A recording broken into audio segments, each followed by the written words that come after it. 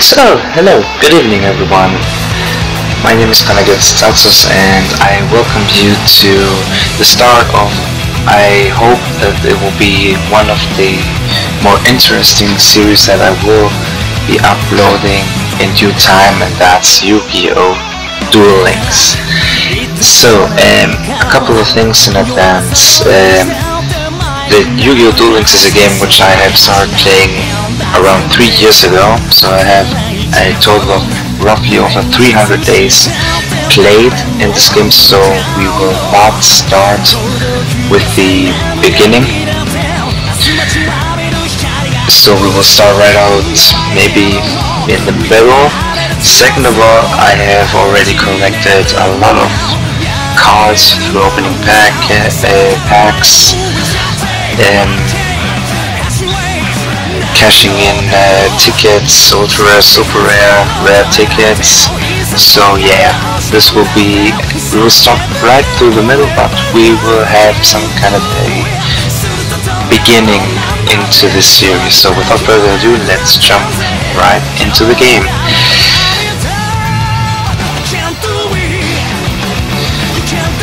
Um, yeah, as you can see, every time you come in you have these announcements of events, packs and so on and so forth, new cards released and more or less that.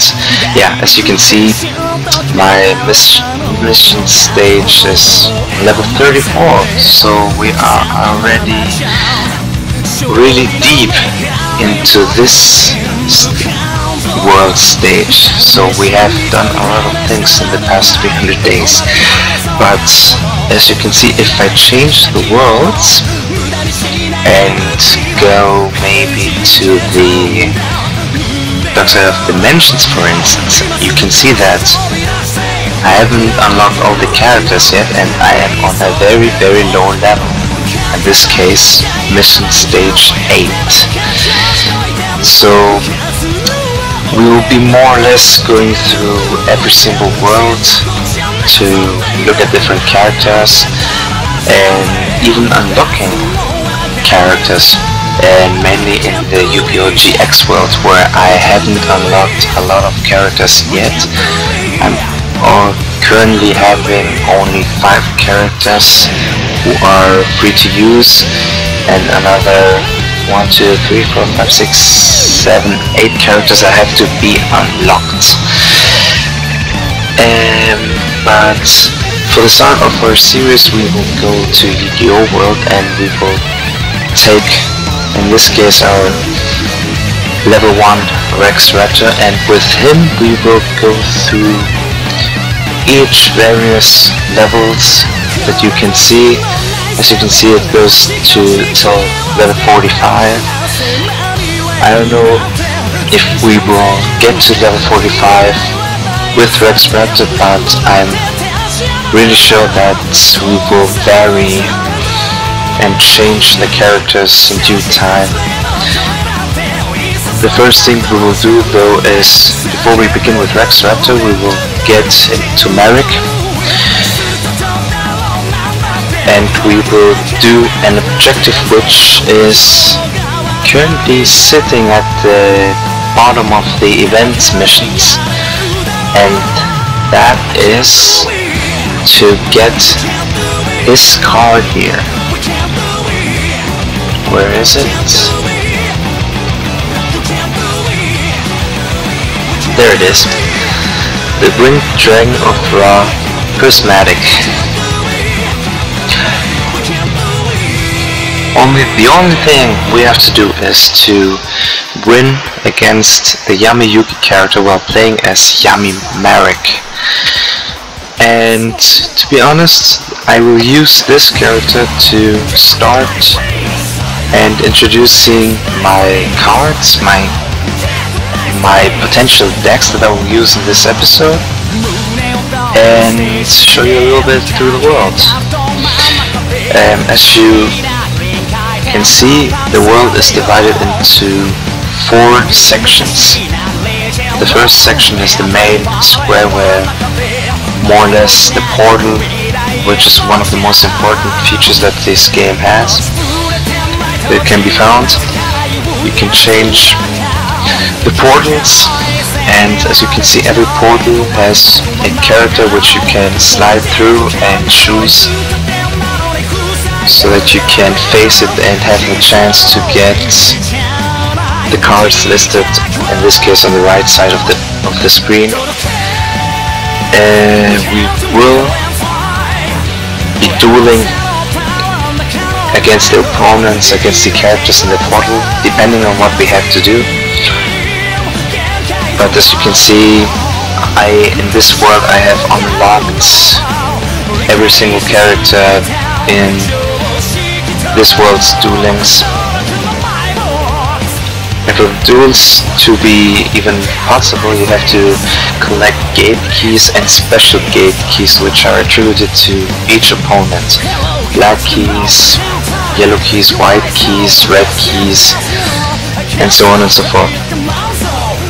One thing that you can also do is that if you want to increase your chances to get a better price, you have to change your multiplier so you can go to a maximum of times 3 multiplier to get the highest amount of chances to get a prize. But this is something we will not do right now.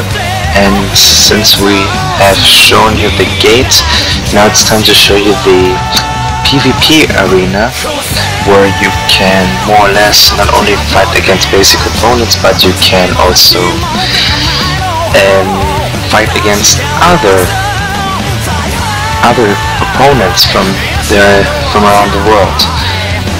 In this area and this arena, and I think each month or each two or three months, I don't know exactly, there is an official KC Grand Tournament, which you can see on the right side on top of the screen.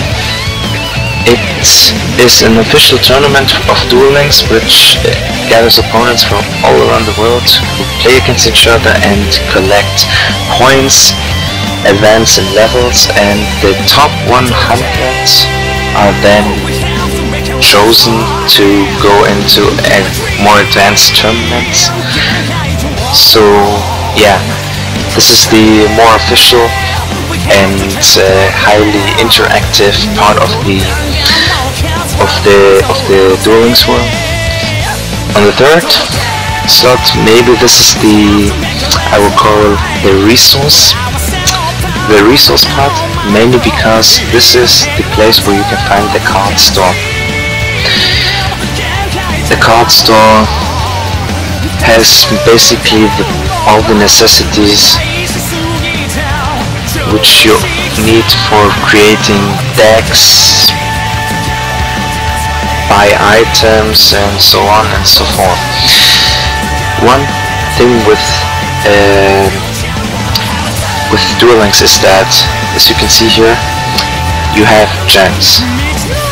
If you want to buy a pack of one of the 29 sets which are currently available you have to spend 50 gems per pack. And the pack doesn't guarantee you that you get the card you need, so you have to go in great lengths and be very resourceful with your gems in order to get the cards you need for the deck. But as you will see in the next few minutes, there are some ways to slowly start with playing in Duel Links by having basic staple cards which can help you all the way and and give you a slight advantage and help you gather the experience points you need to level up and get more gems, more cards and so on and so forth. The events in Yu-Gi-Oh! uh, Duel sometimes also provide with skill tickets, which we will discuss in other episodes. For now, it's not very important. And card tickets. Card tickets are here for you to choose a card of being here in the inventory which you might need for your deck. But I would advise you to choose them very wisely and to use them carefully because you never know with which deck you want to play with and you never know what uh, what comes out in the next days and which set comes out, boxes, expansions. So I would advise you to keep them and use them in, in, in the most efficient way possible. Okay, that out of the out of the way, we will commence with the deck building. So, the fourth part, as you saw, now this is the, let's say, the personal, uh, the personal section of the Duel Links world, which has everything you need to commence in the Duel Links. A dueling as deck editor, card catalog, skill list, duel column, KC report, and your customization and summoning animation list. But for first, the, the skill list we will leave it for another time. But first we will go to the deck editor. And now you will see all the characters popping out. Each character, the higher level you are, the more deck slots they have. As you can see, Yami Yugi is on a very high level, Joey as well. Mako Tsunami has 3 deck slots, Odion has 3 deck slots, and so on and so forth. You can see that the deck slots indicate the level of your character. But for now we will concentrate on Marik. Every character starts with a specific... So, now let's begin. Um, what we will do in order for us to get to the Winged Dragon of Prismatic is we have three options. We can build a slightly uh, weakened Gravekeeper's deck, slightly weakened with the fact that uh, I only have one Necro Valley in my possession. We can go full power um, Lightsworn, where I have uh, all the cards needed to build the deck. But we can also use decks like uh, Lunalight, we can use decks like uh, Machina, we can use the gadgets, we can also go with Grand Marshal, but in this case we will go with the Lightsworn. And I will filter and go with text search and type in Lightsworn. And with that we'll save the deck and commence with the duel. So, if you can remember the objective, the objective was to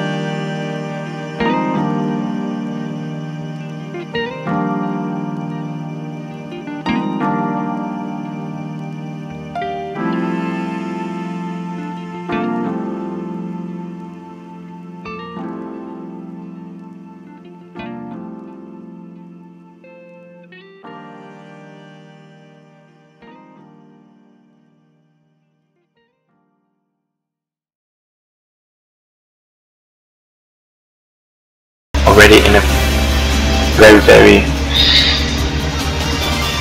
advantageous position to win the duel.